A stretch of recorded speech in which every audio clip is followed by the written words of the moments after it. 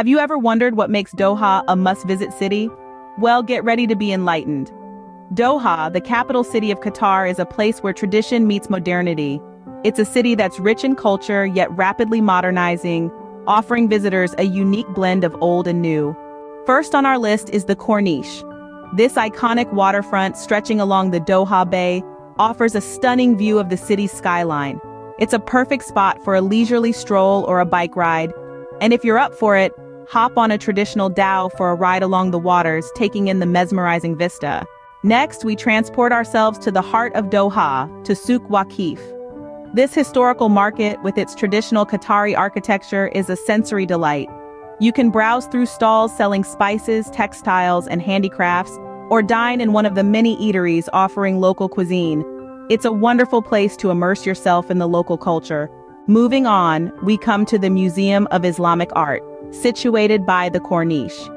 Housing a vast collection of Islamic art that spans over 1,400 years, this museum is a must-visit for art enthusiasts and those interested in Islamic history. Northeast of Doha lies the Katara Cultural Village. This is not just a place, it's an experience. With its art exhibitions, performances, and food festivals, Katara offers a blend of entertainment, art, and dining experiences that cater to all tastes.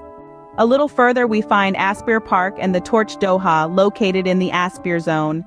The park is a lush oasis in the middle of the city, perfect for picnics or jogging. And towering above it is the Torch, a prominent hotel offering a breathtaking view of the city's skyline.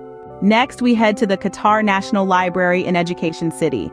This architectural marvel houses a vast collection of books and resources, making it an ideal spot for book lovers and those interested in academic spaces. Not far from here in Al Rayyan stands the Sheikh Faisal bin Qasim Al Thani Museum. This private museum showcases a vast collection of Islamic art and artifacts, offering a unique glimpse into Qatari heritage. Also located in the Katara Cultural Village is the Katara Mosque. This beautifully designed mosque is a serene place for reflection and appreciation of Islamic architecture. Finally, we visit Education City, home to various international universities and research centers. This intellectual hub with its modern architecture and green spaces offers a unique blend of education and leisure. In Doha, you'll find a city that's both steeped in tradition and pushing the boundaries of modernity.